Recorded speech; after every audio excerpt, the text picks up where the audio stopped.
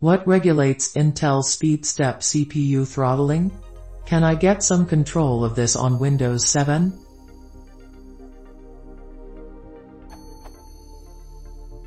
I'm trying to get a big virtual disk file compressed, using WinRAR, before I go home today, but my CPU frequency keeps merrily going up and down between the nominal 2.8 GHz and a measly 800 MHz. The frequency fluctuations as seen in Resource Monitor, blue line is frequency, green is utilization. And core temp.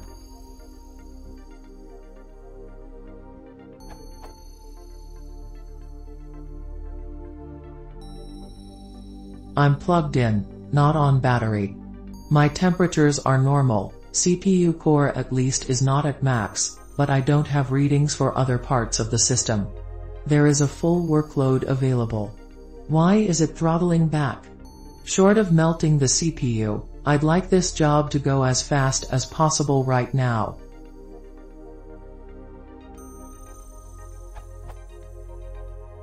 Update the main problem here was the total thermal load was causing the CPU throttling.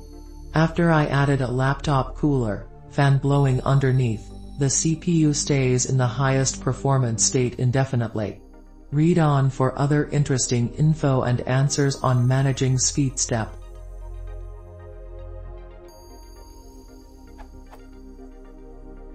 As a control enthusiast, control freak, I'd like to get a handle on this, and change it or at least know why it does what it does. All I've seen in the BIOS is enable slash disable SpeedStep and on this Dell it states that disabling SpeedStep means it will run in the lowest performance state all the time. I can understand that design decision for a laptop. So there is nothing for me in BIOS. Edit. I tried disabling SpeedStep in the BIOS. I do get a steady frequency now, but it is 1.6 GHz instead of 2.8 GHz. At least it doesn't drop to 800 MHz now, but overall this is not an improvement. Is SpeedStep controlled by the OS? I've configured power settings to use 100% CPU as the minimum when plugged in.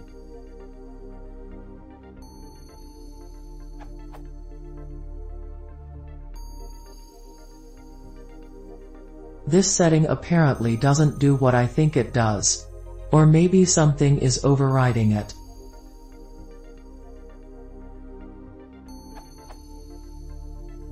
Is the throttling driven by hardware temperatures? When it throttles back, my processor core temps are always fine. Maybe outside the processor, or elsewhere on the motherboard the temp has risen too high so the throttling kicks in until that part cools off. What drives this behavior? Currently it makes no sense and is very annoying. If it dropped to 800 MHz on battery while I'm reading a web page, that would be great. But when I'm plugged in have 10 apps open, and I've got a large compression job, I'd like the full 2.8 GHz.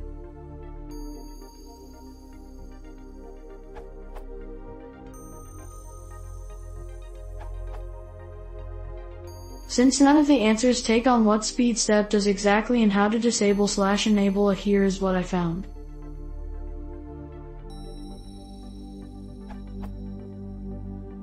Let's look at how it works. SpeedStep has two key components. C1E, Enhanced Halt State. C1E is the simpler of the two components. It can be enabled or disabled in the BIOS, and performs independently of the operating system. C1E has two configurations, idle and load. When CPU usage is relatively low, this feature lowers your processor's multiplier to its lowest setting, usually 6x, and slightly lowers its vcore. During a CPU-intensive application, it will raise the multiplier to its maximum value, and will provide a small boost in vcore to compensate. In our example, C1E will make your processor run at either 6x or 9x the FSB.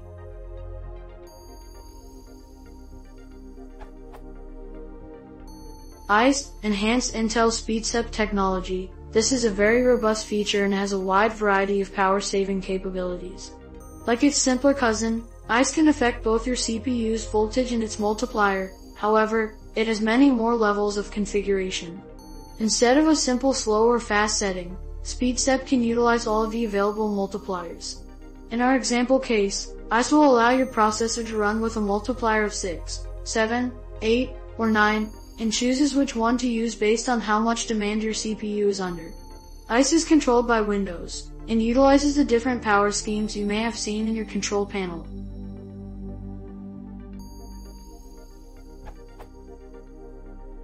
It sounds like SpeedStep can be found in either the BIOS or the OS and maybe even both. My guess is that Dell may be lying to you about the performance. I say try disabling it and see what happens. To disable it under Windows, select the power options and select high performance. Make sure that the minimum and maximum processor states are 100% in the system cooling policy to be active. Here are two supporting forums and a site that may help you out.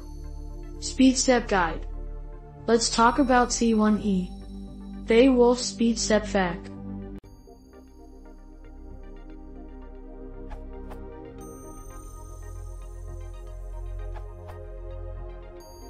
Update, adding an active laptop cooler has completely resolved this issue.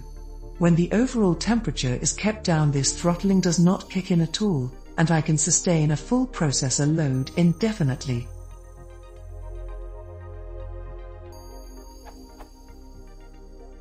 Thanks for the good info in the other answers.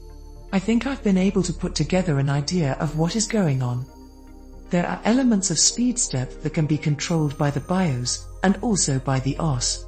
In Windows 7, the power scheme preferences, minimum processor state, active slash passive cooling, AC-DC power, are primarily what guides the OS in setting the processor speed. Some simple experimentation on this laptop indicates that something is down-regulating the CPU in response to temperature. It could be the BIOS or the Dell chipset slash drivers.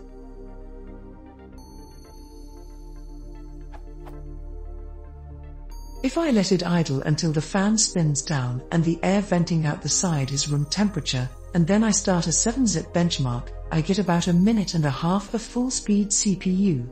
About the time the exhaust air is too hot to keep my finger there, the CPU starts throttling down until it eventually gets as low as 667 MHz. Then it gradually steps back up to nearly full speed for about 40 to 60 seconds, and then the cycle of throttle back and cool down begins again. The whole cycle takes about 3 minutes. Given the obvious heat sink and fan size slash weight slash power constraints in a laptop, I can understand that the system needs a backup method to prevent overheating. I also understand why I can't or shouldn't override this, even if I could figure out how to do so.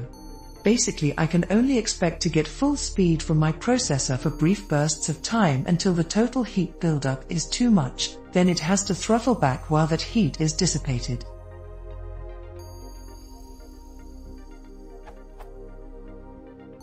I guess putting 2.8 GHz in a laptop gives you some good bursts of speed when you need it, but it simply can't have the same stamina as a workstation.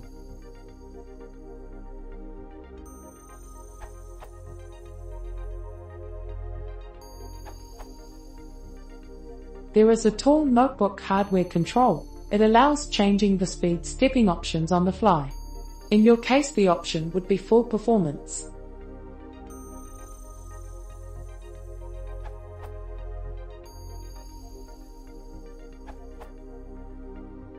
Check the system cooling policy, the next item in the power window. It should be set to active, when plugged in, so that increases in processor temperature increase the fan speed, rather than decreasing the processor frequency, passive.